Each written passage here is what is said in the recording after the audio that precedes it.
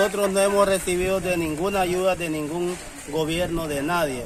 Supuestamente tenemos aquí un gobierno en, en nuestro lugar, pero ni siquiera nos ha apoyado en nada, nos está dando la espalda, no tenemos apoyo de nada desde que comenzó toda esta situación que comenzó, nada, no hay apoyo de nadie, la pobre gente aquí están tirados, no hay nada, aquí hay niños con hambre, niños que enfermos, aquí hay gente que tienen grandes necesidades, agua, problema de agua, este problema de alimentos, no tenemos ningún trabajo.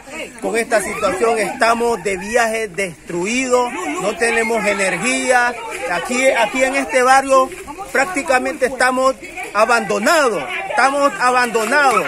Sinceramente el gobierno nos ha dado la espalda y nosotros necesitamos ese apoyo del gobierno, sea del gobierno de Managua, sea el gobierno de aquí, necesitamos ese apoyo como ser humano. ¿Ha venido la presencia municipal también, el alcalde? No sé, pero sinceramente aquí este, no tenemos apoyo de nadie, aquí aquí están ahí las basuras, todos están los palos.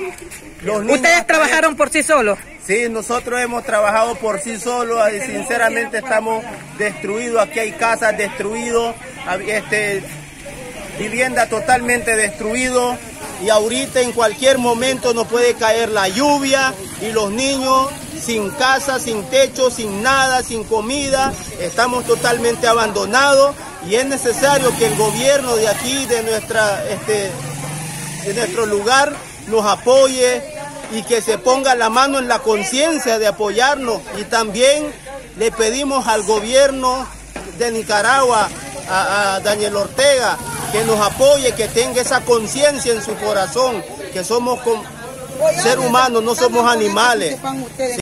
Como, como pobladora, estamos viendo la gran necesidad en nuestra, en nuestra, en nuestra ciudad.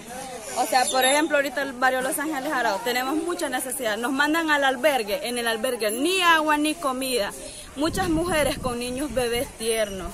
¿Qué es lo que está pasando ahí? Se supone que si nos mandan al albergue es para darnos un apoyo al pueblo.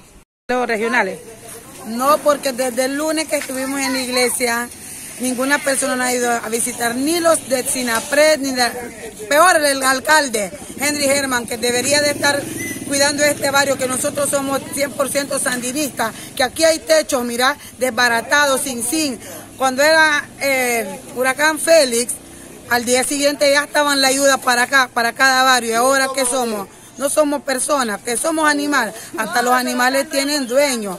¿Ah? Desde que entraron en el hoy salieron del albergue. ¿Cuántos días tienen sin comer ustedes? ¿Tienen agua? Tenemos tres días sin comer ni agua. ¿De dónde agua? Si todo el pozo, el pozo está sucio. ¿De dónde?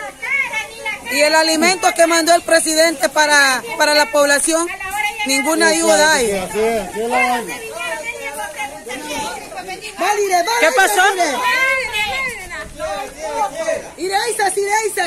¿Qué pasó con esto?